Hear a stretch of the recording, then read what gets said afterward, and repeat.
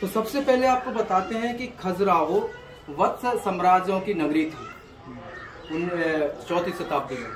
चौथी चौथी फोर्थ चौथी, फोर्थ अच्छा। सेंचुरी अच्छा। इसके बाद सिक्स सेंचुरी में तांत्रिकों का प्रभाव पड़ा था। एट सेंचुरी तक। तो इस एरिया को तांत्रिकों की नगरी कहा गया है। फिर इसको तपोभूमि ऋषि मुनियों की नगरी कहा गया है।